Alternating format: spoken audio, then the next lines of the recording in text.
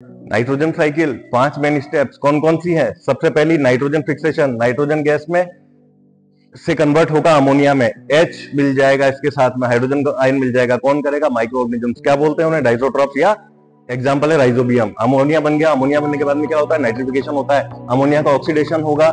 Nitrite में convert होगा। Then again वो आगे चल करके नाइट्रेट में कन्वर्ट हो जाएगा। अब ये नाइट्रेट किसके लिए यूजफुल है? प्लांट्स के लिए। तो इसे कंज्यूम करेंगे प्लांट्स प्लांट्स इसको कंज्यूम करके क्या कर देते हैं? ऑर्गेनिक मैटर प्रोड्यूस करते हैं, जिसमें ये नाइट्रोजन आपका प्रोटीन की फॉर्म में पहुँच जाया करता है। अब ये मतलब की चीज़ हो गई किसके?